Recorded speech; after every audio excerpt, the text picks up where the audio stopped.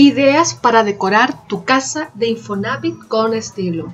Hola a todos y bienvenidos al canal. Una vez más les habla su amiga Angélica. A continuación te invito a que mires el resto de las opciones que encontré de cómo decorar una casa de Infonavit pequeña. Una de las características más comunes de este tipo de casas de interés social es sin duda la falta de espacio y los pequeños espacios. En el tema de hoy te daré buenas ideas para decorar tu casa de Infonavit con estilo.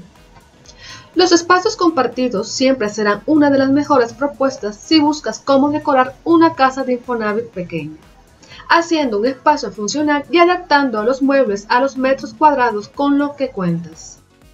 Continuando con nuestra guía de cómo decorar una casa de Infonavit pequeña, llegamos a un apartado en donde encontrarás bellas propuestas para darle vida a la decoración de comedores para casas de Infonavit. Lo ideal siempre será integrar al espacio un comedor pequeño que permita mantener el balance de la habitación.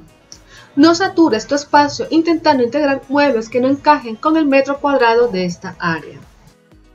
La iluminación es otro punto importante que debes contemplar si deseas saber cómo decorar una casa de Infonavit pequeño.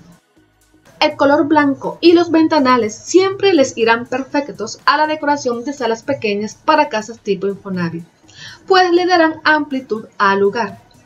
Las lámparas juegan un papel muy importante en la decoración de salas y comedores junto para casas de Infonavit, así que no olvides agregarlos a la decoración de tu espacio. Te presento otra hermosa propuesta para decorar sala y comedor juntos para casas de Infonavit, partiendo de colores blancos, incluyendo muebles coloridos en color azul y verde. Pero nada mejor que a tu estilo personal. Si te gustó este video, déjame tu like, muchas gracias por estar aquí y si eres nuevo por aquí, no te olvides de suscribirte. Déjame tu opinión en los comentarios y nos vemos en un siguiente video.